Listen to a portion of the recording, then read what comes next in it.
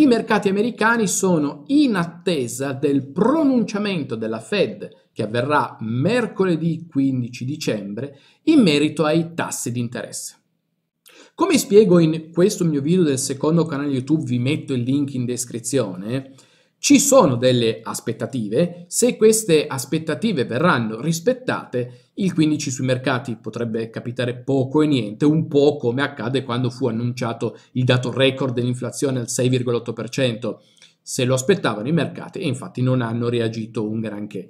Ma nel caso in cui invece i, eh, il dato, la scelta della Fed fosse diversa e quindi disattendesse le aspettative dei mercati, e in quel caso ci potrebbe essere forte volatilità sui mercati finanziari americani, ma non solo, anche sul, sui mercati finanziari mondiali e in particolare su quelli cripto che sono solitamente più volatili degli altri.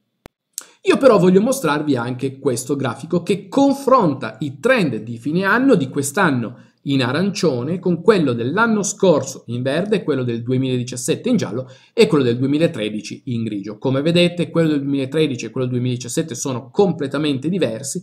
Quello del 2020 per certi versi è simile a quello eh, di quest'anno. In particolare da notare che eh, in questo lungo periodo di lateralizzazione, nel 2020 il punto più basso fu toccato l'11 di dicembre, in questo periodo di lateralizzazione di quest'anno il punto più basso è stato toccato il 4 dicembre, ma il, eh, l'11 dicembre è stato toccato un punto simile.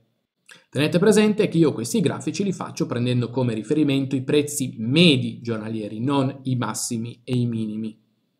Ebbene, l'anno scorso, proprio a partire dal 13 dicembre, ci fu una reazione, un inizio di salita che poi proseguì forte tra il 16 e il 18 di dicembre.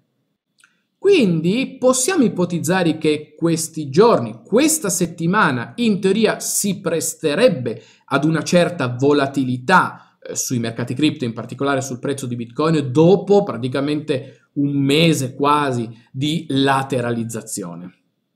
Cioè dopo questa parabola, questo è il grafico del prezzo di Bitcoin dell'ultimo mese, gli ultimi 30 giorni, dopo questa parabola ci potrebbe anche stare un eventuale rialzo come l'anno scorso, però molto dipende da quello che accadrà il 15 dicembre sui mercati finanziari. E attenzione, quando si parla di volatilità non si parla necessariamente di aumento dei prezzi, perché la volatilità può portare il prezzo in alto ma anche in basso.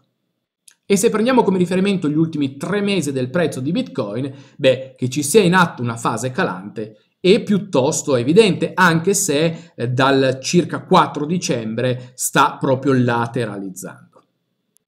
Quindi oggi, domani e dopodomani potrebbero essere dei giorni durante i quali questa fase di lateralizzazione potrebbe interrompersi. Può anche darsi che i mercati americani stiano aspettando mercoledì, aspettando la Fed per capire come eh, reagire. Quindi può anche darsi che il giorno in cui potrebbe muoversi il prezzo di Bitcoin sia il 15 dicembre o il giorno successivo.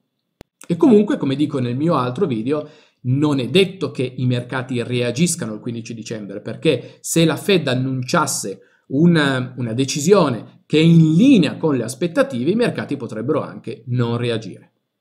Quindi siamo in una fase di incertezza in cui bisogna solamente attendere qualche tipo di reazione senza sapere nemmeno quale sarà la direzione.